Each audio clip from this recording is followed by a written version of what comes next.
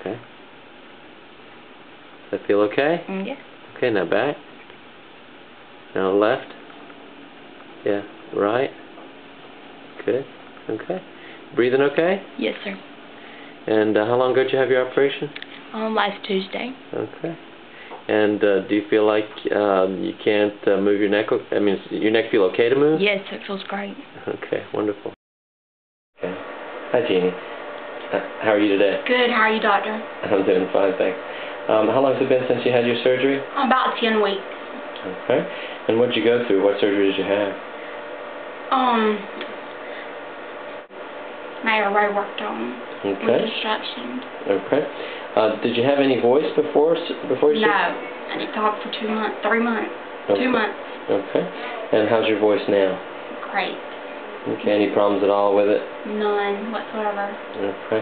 How about breathing? How are you breathing? Just like it was before. Before all this my- happened? Yes. Yeah. yes. cool. Um, any problems with your neck? And then just do that a little bit for us, so from side to side. How's that feel? It feels normal. Okay. All right. Move forward. Yeah. it Feels okay. And then that's as far back as this cover. Okay. But you've had a cervical spine fracture, so Yes. who knows? Who knows what all that? yes, yes. That's contributing to it. So Yes. seems like you're really not having any problems like that. When you swallow, you sort of need to do something different, don't you? Um, when you swallow, what do you do? When I swallow, I tilt just just a little bit, maybe right right there. Which Okay.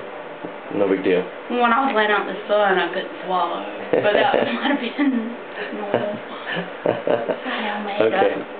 So are you glad you had the surgery? Very glad. Thank you so much. We're so thankful for you. Well, I'm happy to help. Uh, thank you for being willing to tell other people.